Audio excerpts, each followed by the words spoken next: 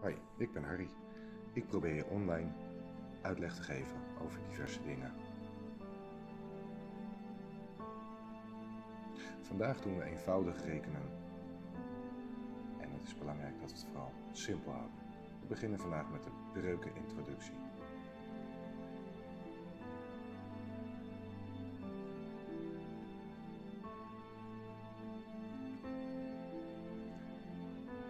Breuken hebben altijd twee delen. Een teller aan de bovenkant en een nummer aan de onderkant.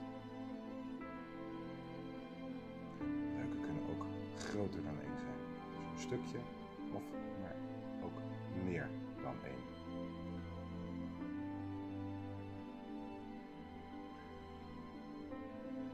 Hele getallen als breuken kan je heel handig variëren.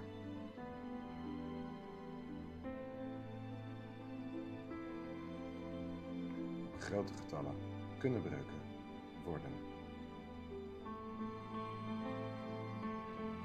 Je kan ook een combinatie hebben van een heel getal en een breuk.